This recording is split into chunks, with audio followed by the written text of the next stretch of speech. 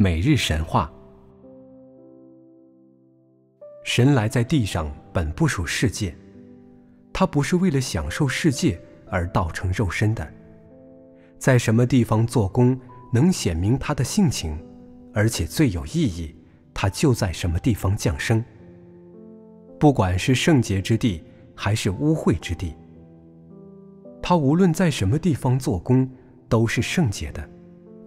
世界的万物都是他造的，只不过万物都经撒旦败坏了，但万物仍然都是属他的，都在他的手中。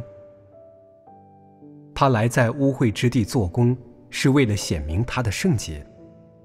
为了他的工作，他才这样做的，也就是为了拯救污秽之地的人类，他才忍受极大的屈辱，做这样的工作的。这是为了见证，是为了全人类。这样的工作让人看见的是神的公义，而且更能说明神是至高无上的。他的伟大与正直，就表现在拯救一般无人瞧得起的低贱的人身上。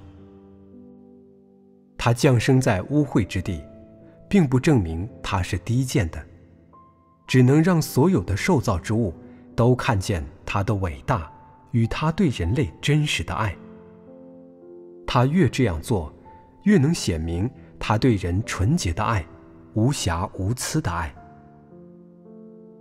神是圣洁公义的，尽管他降生在了污秽之地，尽管他与那些满了污秽的人同生活，正如恩典时代的耶稣与罪人同生活一样。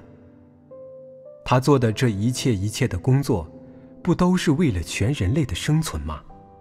不都是为了人类能蒙极大的拯救吗？两千年前，他与罪人一同生活了多少年？那是为了救赎。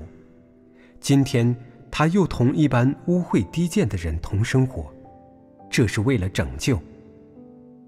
他的所有工作，不都是为了你们这些人类吗？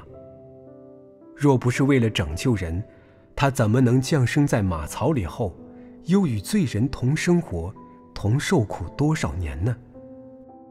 若不是为了拯救人，他怎么能第二次重返肉身，降生在魔鬼群居之地，与这些被撒旦败坏至深的人同生活呢？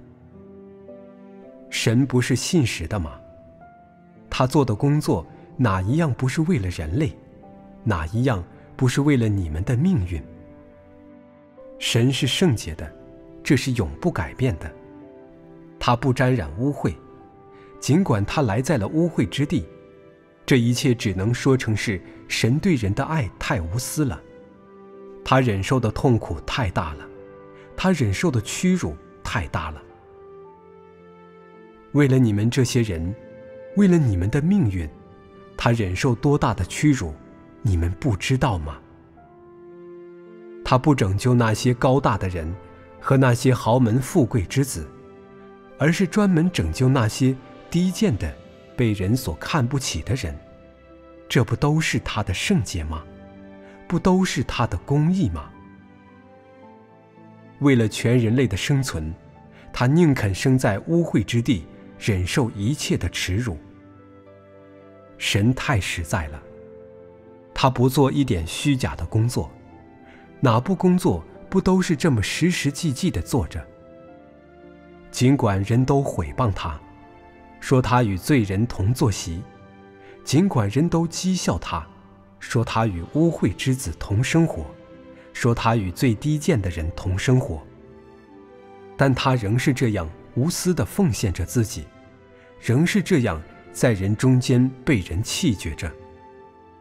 他忍受的痛苦，不比你们的大吗？他做的工作，不比你们付的代价多吗？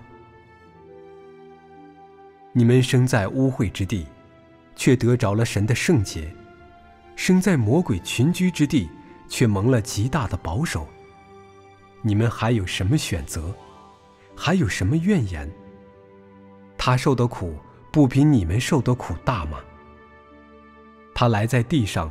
从未享受那些人间的福乐，他厌憎那些东西。来在地上的神，不是享受人的物质待遇，也不是享受人那好吃的、好穿的、好戴的。他对这些根本不理睬。他来在地上，乃是为人类而受苦，不是来享受人间的福气来了。他来了是受苦，也是为了工作，为了完成他的经营计划。他并不选一个好地方，住在大使馆里，住在高级宾馆里，也并不让多少个仆人侍候他。就你们所看见的，他来了是做工，还是来享受了？你们不知道吗？你们眼睛看不着吗？他赐给你们的还少吗？他如果生在一个安逸的地方，他能不能得着荣耀？他能不能做了工作？他那么做能不能有意义呢？能不能把人完全征服呢？能把人拯救出污秽之地吗？按人的观念。神既然是圣洁的，为什么生在我们这污秽之地？你恨恶我们污秽的人，厌憎我们这些污秽的人，厌憎我们的抵挡，厌憎我们的悖逆。你为什么跟我们在一块生活呢？你是至高的神，降生在哪儿不行，非得生在这污秽之地？你天天刑罚审判我们，明知道我们是摩押的后代。为什么还在我们中间生活？